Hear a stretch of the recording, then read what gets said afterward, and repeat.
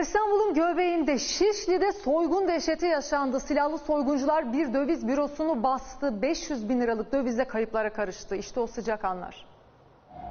Resmen soygun yapıyorlar şu anda. Maskeli. Arabaya biniyorlar. Arabaya, biniyorlar. Eli silahlı, yüzü maskeli 3 soyguncu İstanbul'un göbeğinde Şişli'de döviz bürosuna girdi. İçi para dolu çantalarla çıktı.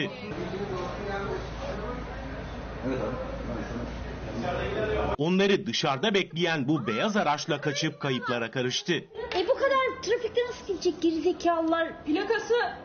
Plakasını söyle. Aa ters yöne gir. gözlüklü, şapkalı, üçü maskeli, şapkalı olan ateş etti. İnsanlar etrafa kaçtı.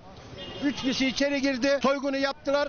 Arabaya binip kaçtılar. Silahlı soygunun adresi Halaskar Gazi Caddesi'ndeki bu döviz bürosuydu. Akşam üzeri siyahlara bürünmüş 4 kişi beyaz bir araçla döviz bürosunun önüne geldi.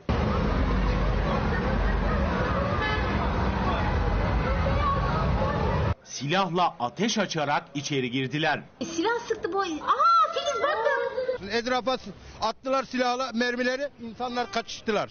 20 saniyenin içinde bitirdiler işi. İkisi kapıda bekledi. Diğer ikisi silah zoruyla yaklaşık 500 bin liralık dövizi aldı. Girmeleriyle çıkmaları neredeyse bir oldu. Dört soyguncu kaçarak çıktı. Birinin kucağında çanta, Arabaya biniyorlar. Arabaya, biniyorlar. Saldırganlar beyaz bir araçla geldiler ve döviz bürosunun önünde durdular. Buraya park ettiler. Bir kişi içeride bekledi. İki kişi ise silahla aşağı indiler ve döviz bürosuna girdiler ve tezgahtardan paraları vermesini istediler. birinde torba vardı.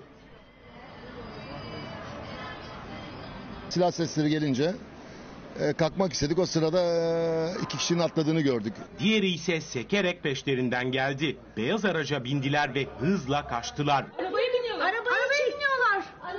E bu kadar trafikte nasıl gidecek gerizekalılar? Plakası. Plakasını söyle. Aa ters yöne gir. Saldırganlar içeridekileri korkutmak için bir el ateş ettiler. Daha sonra döviz aldıktan sonra buraya geldiler ve aynı araçla işte bu istikamete kaçmaya başladılar. Çevredeki vatandaşlar aracın plakasını aldı. Resmen soygun yapıyorlar şu anda. Maskeli.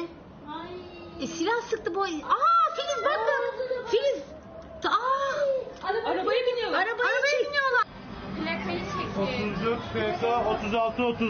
Polis de soyguncuların peşine düştü.